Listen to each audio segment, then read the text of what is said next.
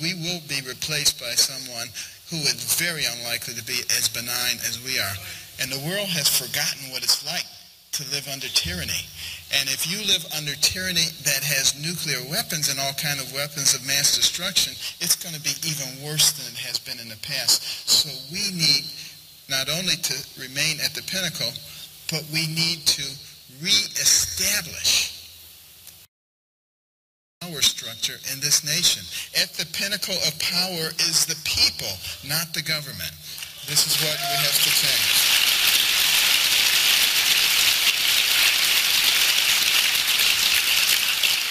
Unfortunately, what has happened is that people have been beaten into submission.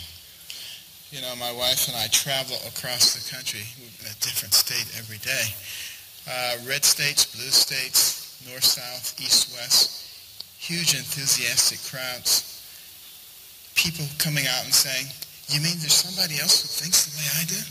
You mean I'm not weird because I believe these things? Because I have these values and principles? Because I think logically and use common sense? Because the secular progressives want you to think that. You know, Saul Alinsky has 13 rules, and the rules for radicals, the first rule, make the majority believe that their opinion is the minority opinion and that your opinion is the majority opinion. If you can co-opt the media in the process, you're far ahead of the game. That's exactly what's been done. And people are now sort of like looking around. Can I say that? Uh, can I do this? This is total crap. That's what it is. Okay? And it's time, it's really time for the people we the people of America to stop being afraid of the government and to put it in its place. In, it, in its place.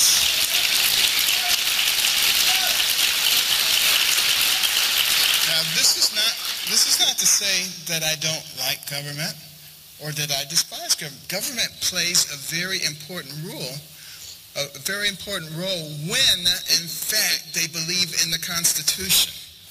That's the problem. When they begin to neglect the Constitution, when they begin to impose their own will, when they look at laws of the land and they say, okay, I think I'll enforce this one, this one I won't. When they begin to treat people differently, they say, these are my friends, you don't have to do that, but all the rest of you have to do something. When they say, the people and the, and the executive branch and the legislative branch don't have to participate in certain programs, but everybody else has to. When they give businesses exemptions, but the common people, they say, no, you have to do it. You know, that's not America. That's Russia. That's someplace else. How do we allow that to happen in this nation?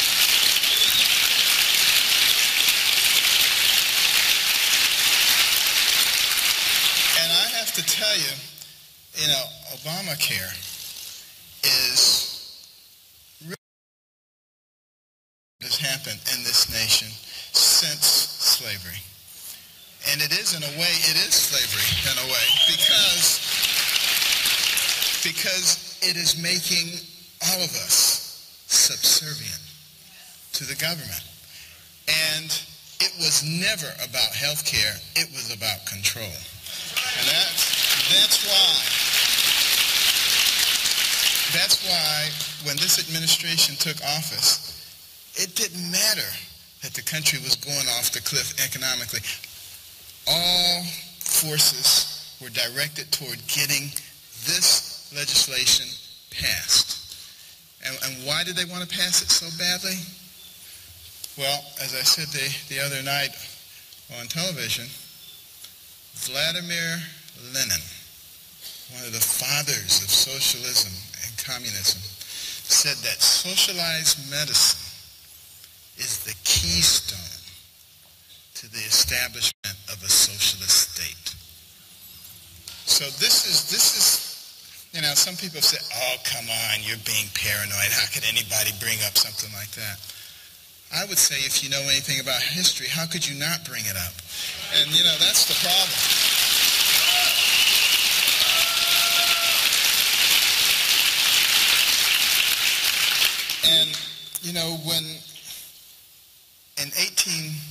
31 when Alexis de Tocqueville came to America to study this nation. Why did he come? Because the Europeans were fascinated. How could a nation barely 50 years old already be competing with them on virtually every level? That was impossible. Nothing like that had ever occurred before. And after he looked at the government, he said, let's look at their educational system. And he was blown away.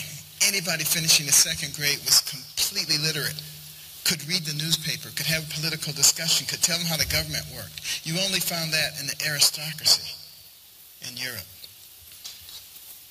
And when you stop and think about it, why do you think those early pioneers were able to push across a rugged and hostile terrain from sea to sea because they were well educated. They knew how to build structurally sound bridges. They knew how to build roads. They knew how to build dams. They knew how to build storage containment centers. They knew how to invent things when a problem came up because they were extremely well educated. This is something that we must get to again, and it is absolutely critical that we do it pronto. 30% of people in this country do not finish high school. Think about that. We're not producing the number of technological people that we need. And that's why a lot of the tech companies have to go to India and Pakistan and China and Japan to recruit people. We need to change that. In our high schools, our counselors need to be directing our students toward the right kinds of careers.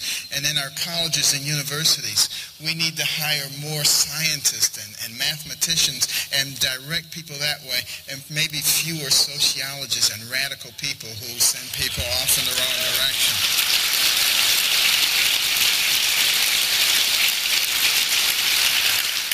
But you know, when de Tocqueville finished that big two-volume set, what impressed him the most was the fact that we taught in our public schools values and principles. And we were not ashamed to use the Bible as the source of those values and principles.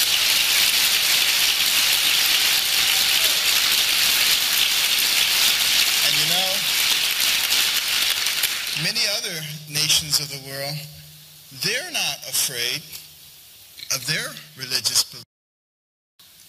They quite proudly proclaim them. But somehow we have come to believe that we are not a Judeo-Christian nation. We have some leaders who have even made such a proclamation. They don't know anything about the founding of this nation. And, you know, in, in our last book, America the Beautiful, we wrote all, many of the stories about incredible things that happened during the founding of this nation that were supernatural. Throw God out of our nation, he will neglect us and we will go down the tubes. We're already on the way, but I think it can be reversed because there are enough God-fearing people in this country, and we must not be ashamed of our relationship with God. And if we do,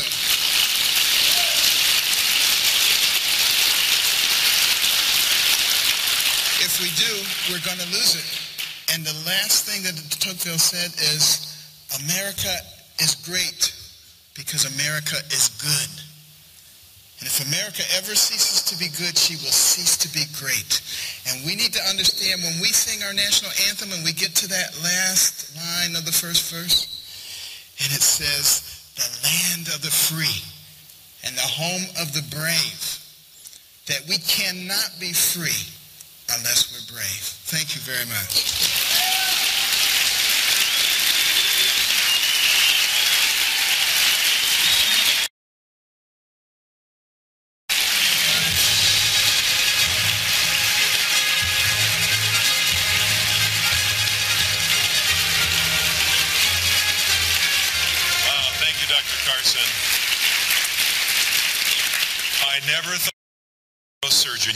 Crap, but now we've heard it. Folks, if you'll just indulge me for a couple of moments, I have a number of announcements that are very important to get by. I'll have my head down reading most of the time. I won't be able to see if you leave early, but God will know. Are you ready? We have a number of stand uh, t-shirts and bumper stickers and other items for sale at the registration desk. Here are our beautiful models. Hey, don't be a nerd, be a cool and righteous dude and get one, okay? Thank you, models, for showing us where you stand.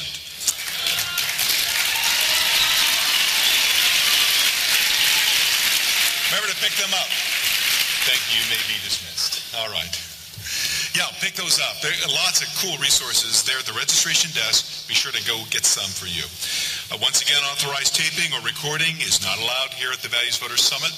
You do that, we will shut the government down. Oh, wait a minute, we've done that. Never mind. All paid registrants may vote in the straw poll that's coming up. Voting hours are from noon to 7 p.m. Friday and 7 a.m. to noon on Saturday. You may vote. You can scan your QR code on the back of your name tag. There's also a scan code on the sign at the top of the stairs if you do not have a QR on your tag. Vote at one of the computer stations located at the registration. Half of you are probably wondering what is a QR code. Next, FRC Action PAC is hosting a reception in the Congressional Room today. It'll be from 5.30 to 7, featuring Representative Mark Meadows, Jim Bridenstine, and Virginia Lieutenant Governor, Governor candidate E.W. Jackson. We'll also be speaking later. Uh, as well as a host of other candidates. The cost is $100 per person, and you can get your ticket upstairs at the registration booth where all the stand materials are. You must have a ticket to attend. All college and high school students, there's going to be a special mixer uh, from 5.30 to 7 tonight in the Empire Room, which is here downstairs.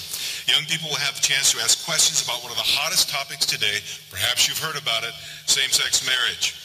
Many of today's youth have friends who view same-sex marriage as acceptable, and Ryan Anderson of the Heritage Foundation and Peter Sprigg of the Family Research Council will take tough questions and also give thoughtful answers so the students can address the topic thoughtfully and intellectually from a biblical perspective. Plus, the dinner's on us. There'll be free pizza for everybody.